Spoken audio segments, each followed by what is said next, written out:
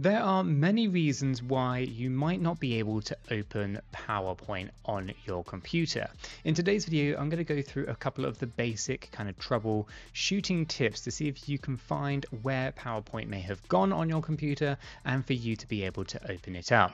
So to start with, let's start, do the kind of the basics, right? First of all, you can see on the desktop here that I have no shortcuts on there. They're all completely gone, right? So I'm going to have to use the search bar to find PowerPoint. So the first thing we're going to do is come down to search and we're just going to go in and type PowerPoint in here and you'll be able to find it right inside here and we can give it a click and it should load up for you. So if it's just a case that you've lost all your links, maybe it's not a shortcut on your desktop, or maybe it's not pinned in anywhere and you just need to open up PowerPoint, well, this is the first thing to try so that you can gain access to PowerPoint presentations. Okay, so we'll assume that that didn't work. So in which case, the next thing to do is actually to go into your search bar and type in Task Manager.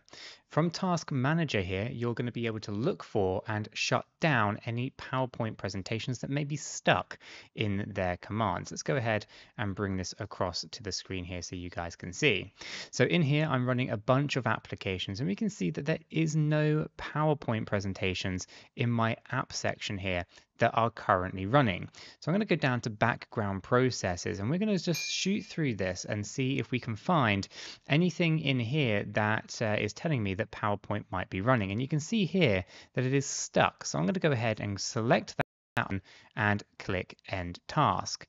That's going to end the PowerPoint task. I'll go ahead and close this down and we can once again go to the search bar, type in PowerPoint and click on that and see if the application will finally load. And for the most part, it has on the wrong screen, but it is now over here. I can go ahead and maximize that in, and we now have PowerPoint actively running. You can see it's also down here in my taskbar. I can go ahead and right click and pin this in, so it's always going to be there if I need it.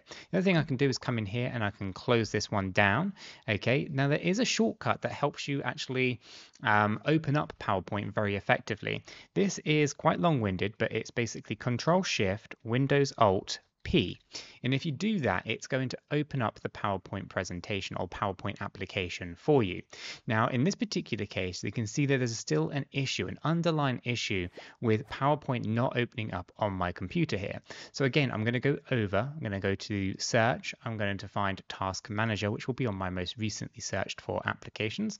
Um, you can see that it's not open as an application on here, but if I do scroll down, you can see that it's probably going to find itself that is stuck back in this background process right inside here. And I can go ahead and end that task Okay, that's going to basically remove it. I'll close this down. Now, if I go Control Shift, Windows Alt and P, it should open up the PowerPoint presentation, which it has, just on the incorrect monitor. Let me pull that back across here. And you can see that's a nice shortcut to be able to open it. So the first thing that you need to do is check to see whether or not it's just a case that you're missing um, a bunch of kind of shortcuts uh, to make sure that it, you can actually still find it. Because if you cannot find the application in your search bar by typing in PowerPoint, for example, example, then chances are it's not actually installed on your computer, so you'll need to go and install it. But if you can find it and it won't run, chances are there's actually a background um, application running that's actually preventing it from opening, in which case you would have to go into your task manager and end that task. Once you do that, you can quite easily search for it, open it up, or alternatively hit Control, Shift, Windows, Alt, and P, and you will be into PowerPoint in no time.